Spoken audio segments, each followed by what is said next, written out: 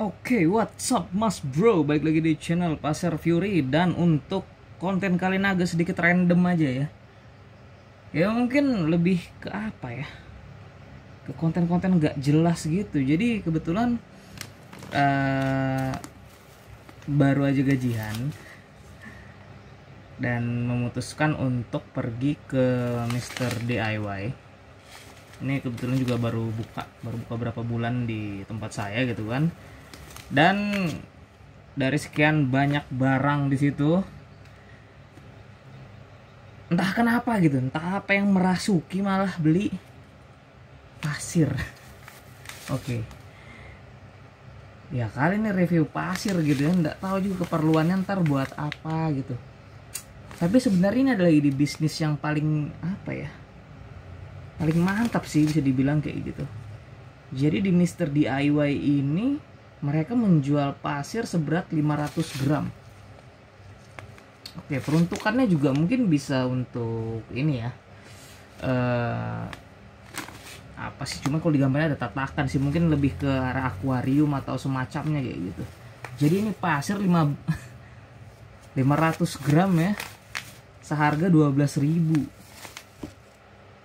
sekarang apa aja itu bisa jadi duit gitu ya kan? Jadi setelah saya berpikir lama gitu kan antara dua nih mau beli pasir apa beli batu? Dia juga dia juga ada jual batu. Batu kerikil kecil-kecil kayak gitu kan. Karena memang saya juga doyan ngoleksi batu-batu jadi saya liatin gitu kan. Oh dia bagus-bagus juga batunya kayak gitu. Tapi ya kali gitu. Batunya juga 500 gram dia, dia jual 12.000 juga. Oke mungkin bisa menginspirasi ide bisnis saya gitu kan. Jadi saya bakalan tahu ini bakalan spend uang untuk hal-hal yang kita kita nggak perlu gitu. Cuman di lain sisi ada nilai emosional kali di situ ya. Kayak gini. Ya kali lu gabut jalan ke Mister DIY terus beli beli apaan gitu? Bukannya beli alat-alat apa gitu kan yang bermanfaat yang bisa dipakai malah beli pasir ya. Dan dilanjut ya karena memang tuh membius ya. Jadi setelah beli pasir kan bingung tuh. Ya beli apaan lagi gitu ya kan yang cocok sama pasirnya ya ini tadi. Oke. Okay. beli toples buat masukin pasir ke sini. Itu random banget hidup ya kan. Ya udah yolo aja kita kayak gitu. Hidup juga cuma sekali kan. Anggap aja ini konten-konten unboxing pasir ya kan. Oke ini packaging kita buka ya.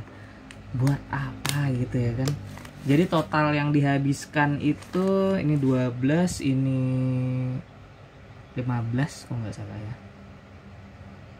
15 kayaknya. Ya nggak apa 27 ribu untuk masukin pasir ke toples gitu. Entah nilai nilainya apa cuman mungkin secara emosional ada apanya gitu ya kan Oke nih kalian ASMR aja nih.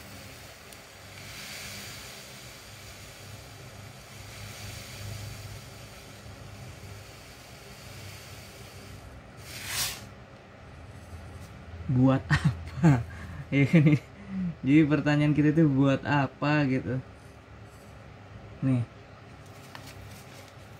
Oke, tambah lagi.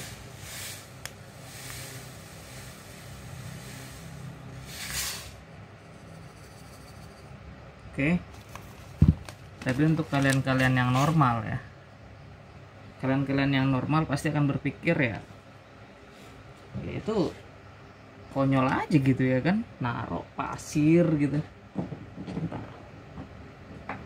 Buat apa gitu kan beli pasir dan toples. Tapi karena saya adalah orang seniman, ini yang kemarin kita punya buaya dan kita udah repaint saya punya ide di situ ya kan? Kita akan bikin kayak diorama diorama kecil yang ada di dalam toples gitu kan?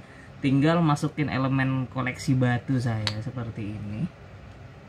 Entah nanti nilai ada nilai artistiknya atau gimana gitu ya kan?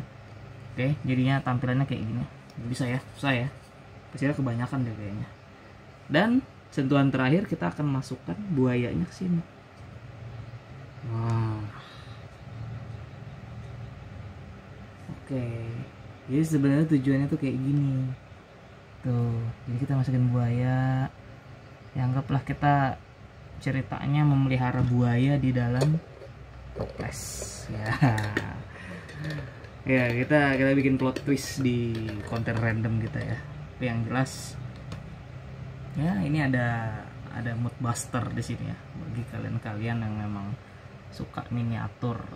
Nih keren kan oke mungkin sekian itu saja dari saya kenapa beli pasir ya alasan beli pasir dan toples Oke, semoga bermanfaat dan semoga menginspirasi untuk anda-anda juga yang random sekaum mama saya. Jadi, ya itu aja. Jangan lupa like dan subscribe.